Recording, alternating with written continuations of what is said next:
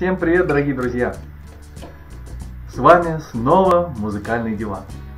Ну, вообще, раньше я делал очередной выпуск музыкального дивана, когда у меня появлялось определенное количество пластинок. Иногда они как-то были связаны друг с другом, ну, по смыслу, но чаще всего связи никакой не было. Все было как-то случайно. Но начиная с этого лета я решил объединять пластинки по смыслу. И мне нравится такой подход. Я думал, что буду так делать временно и называл такие выпуски сериями сериала. Но сейчас я уже хочу продолжать в том духе. Э, вот к чему я это все рассказываю. Дело в том, что сегодня я планировал завершить мой сериал, но нет. Сегодня я завершаю только сезон и завершаю его феноменальным набором пластинок одной из любимейших моих групп.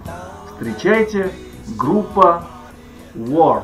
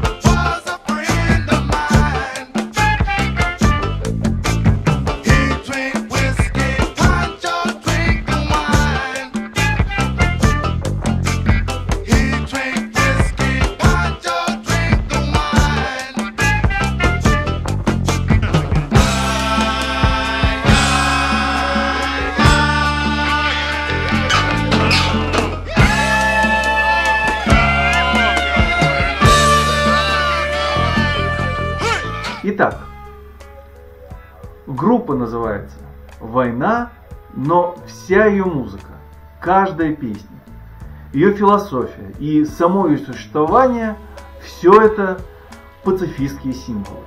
Это война против войны, а музыка – ее мощнейшее оружие.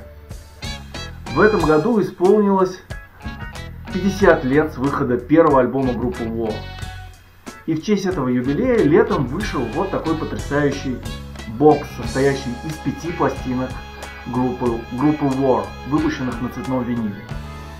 И перед тем, как мы все подробно рассмотрим, я хочу немного рассказать про группу War и почему она так важна для меня лично. Как я уже сказал, первый альбом у них вышел в 1971 году, 50 лет назад. Но на самом деле годом ранее, в 70 году группа War тоже выпустила целых два альбома в качестве аккомпанирующей группы знаменитого британского музыканта Эрика Бёрдена, которого все знают как вокалиста группы The Animals. Именно он поет такие хиты, как Don't Let Me Be Misunderstood uh, и The House of the Rising Sun. Эрик Бёрден в конце 60-х искал uh, новое современное звучание и нашел его в этой необычной американской группе, которая состояла из семи человек, шестеро из которых были чернокожие и один датчанин с афропрической. И вот они объединились и объявили войну расизму, войну нетерпимости, войну войне. А миру они объявили мир. А уже в 1971 году Вор остались без своего знаменитого фронтмена, но не растерялись, а продолжили свою борьбу, используя инструменты, которые, как они говорили, стреляют нотами вместо пуль.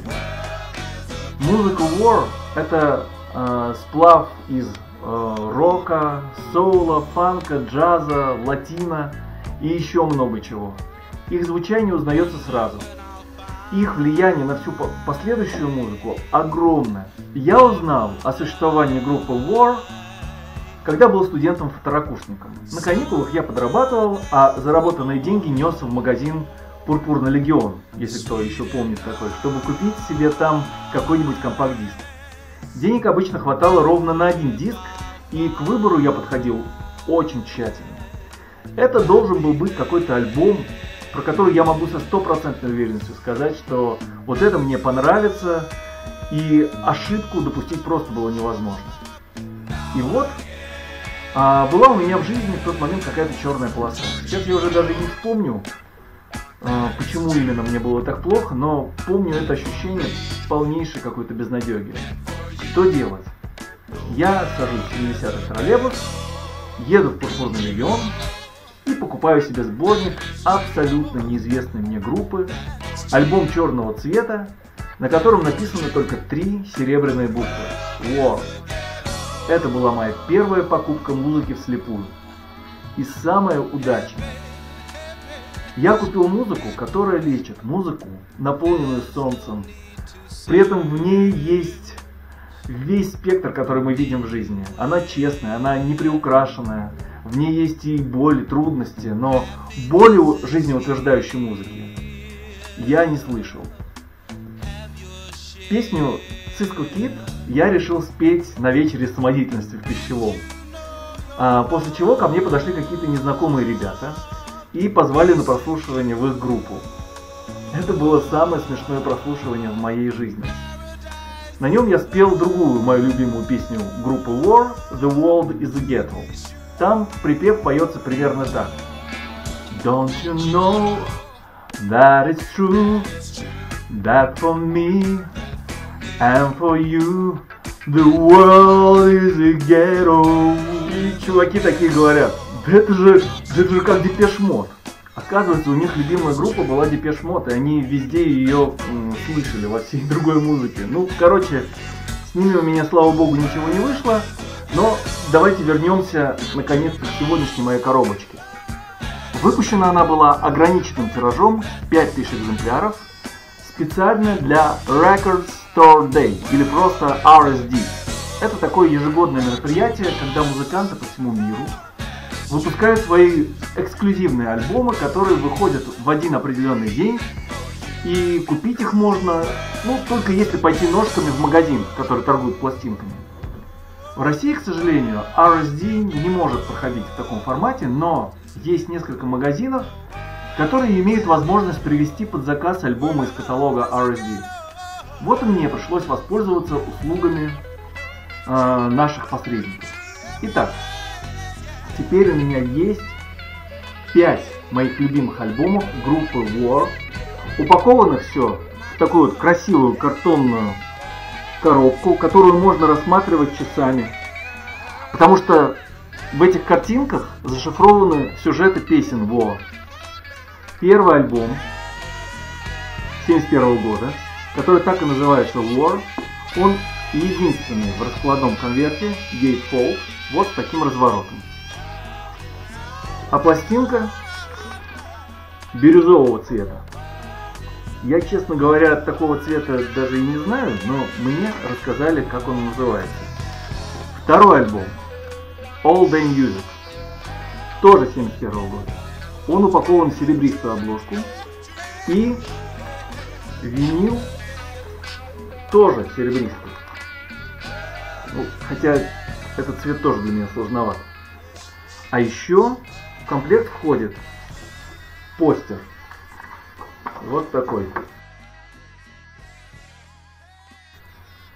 Мой любимый, третий альбом The World is a Ghetto 72 года выпущен на голубом виниле. Четвертый альбом Deliver the World 73 года на оранжевом виниле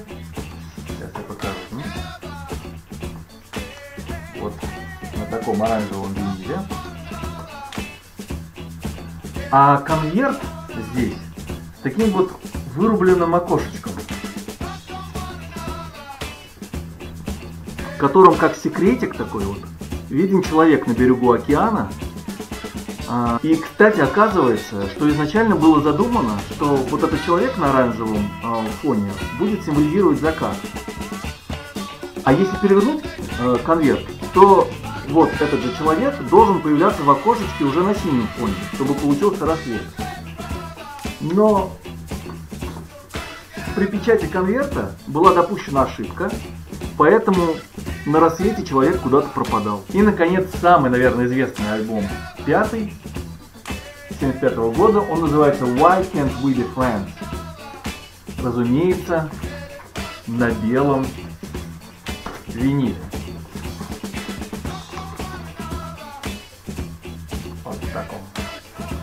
И здесь тоже вложен постер. Вот такой.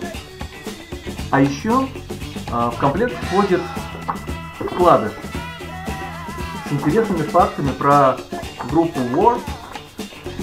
А, и вот так я узнал, например, что, оказывается, Джимми Хендрикс за день до своей смерти играл свой последний концерт с группой War. Ну вот и все на сегодня. Слушайте группу War. Всем мир.